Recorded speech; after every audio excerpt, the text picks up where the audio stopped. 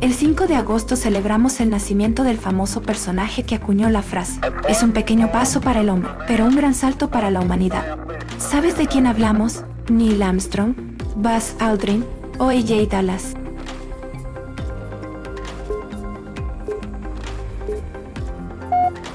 Por supuesto, es Neil Armstrong.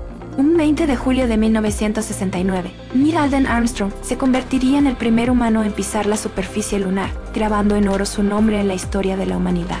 Armstrong, además de ser astronauta, fue piloto de guerra, ingeniero aeroespacial, piloto de pruebas y profesor universitario, un dato curioso que seguro no sabes de su vida es que, en 1985, formó parte de una expedición hacia el Polo Norte, motivado principalmente por su curiosidad de conocer por tierra esta parte del mundo, que había visto solo desde el espacio.